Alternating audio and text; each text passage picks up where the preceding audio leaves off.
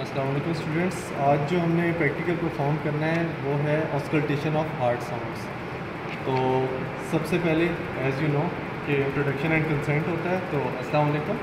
मेरा नाम डॉक्टर तैयब है, मैं आपके दिल का मुआयना करूँगा और इससे आपको कोई तकलीफ़ नहीं होगी तो मुझे इजाज़त है।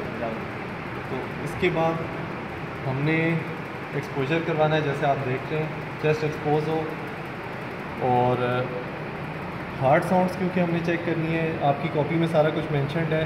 डिफरेंट पोजीशंस पे हम हार्ट साउंड्स चेक कर सकते हैं, लेकिन अभी हम लाइन पोजीशन में करेंगे।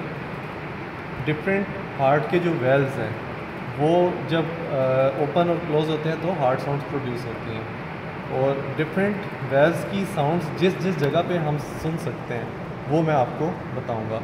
फॉर एग्ज़ाम्पल एयोटिक वेल्व की जो साउंड है, वो second intercostal space of right side मतलब कि पैरास्टर्नल एरिया ये स्टर्नम है। स्टर्नम के बिल्कुल राइट साइड पे सेकंड इंटरकोस्टल स्पेस के अंदर आपको जो साउंड ऑस्कल्टेट होगी, वो होगी एओटिक तो हम यहाँ से स्टर्नल नॉच देखेंगे।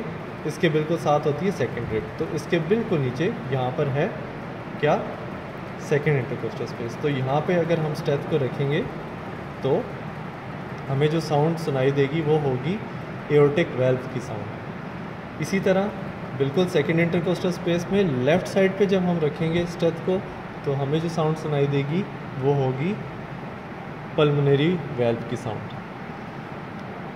इसी सीध में मतलब पैरास्टर्नल एरिया में ही हम थर्ड फोर्थ और फिफ्थ फिफ्थ इंटरकोस्टल स्पेस में जब हम स्टेथ रख के सुनेंगे साउंड तो हमें जो साउंड आएगी, वो होगी ट्राइकेस्पिड वेल्व की साउंड फिफ्थ ही इंटरकोस्टल स्पेस में हम बिल्कुल आगे मूव करेंगे, जहाँ पर एपेक्स बीट हम सुनते हैं.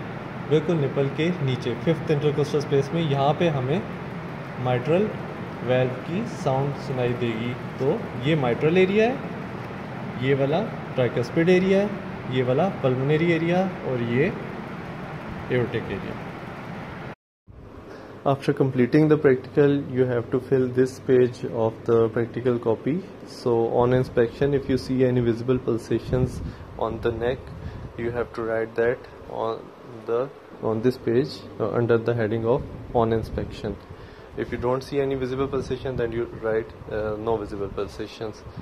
On palpation as uh, you have done the practical you place the hand over the chest and you uh, observe for the maximum pulsation area. So the area in which you palpate the maximum uh, impulse or pulsation you have to write that uh, the name of that area. For example if you find the maximum pulsation or maximum impulse at the mitral area you have to write uh, on on palpation you uh, have felt the maximum impulse at the mitral area.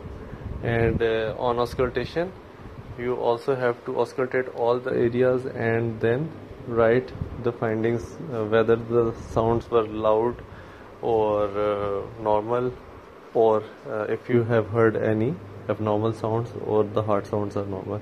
So uh, at the end in the result you have to write all the observation for example if you don't find any abnormality you have to write that uh, heart sounds are normal in all the areas of heart. Or if you find any abnormality then you have to mention that area and write the abnormal finding that you have Assalamu alaikum students. Uh, the practical that we are going to perform today is the auscultation of heart sounds the principle how the heart sounds are produced is by the closing of heart valves, which produces the turbulence in blood flow, uh, and this turbulence in the cardiac chamber produces the sounds that can be heard by placing the stethoscope over the heart on the skin surface.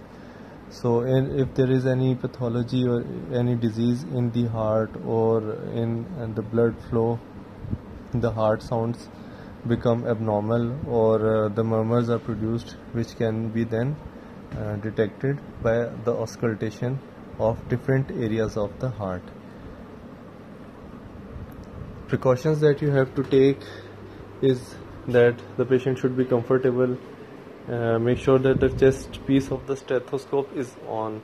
Uh, there is a switch of uh, on and off. You can uh, see that on the steth when you hold it in your hand uh, the heart sound must be examined with care for several times before designated them as abnormal sounds. Uh, there are several sounds which are normal but uh, they seem abnormal so you have to examine or uh, the you have to hear the heart sound several times before uh, designating them as abnormal.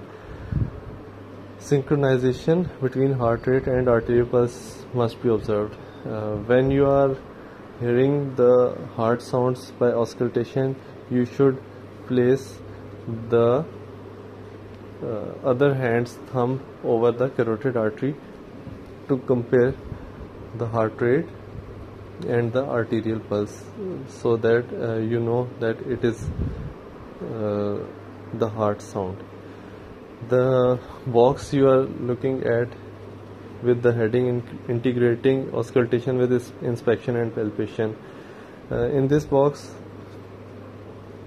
the same thing is written that first of all you have to place your hand over the chest to uh, find the maximum impulse point. And you have to place the steth over that point and uh, you have to look at the neck for any visible pulsations. Uh, so that is included in the inspection.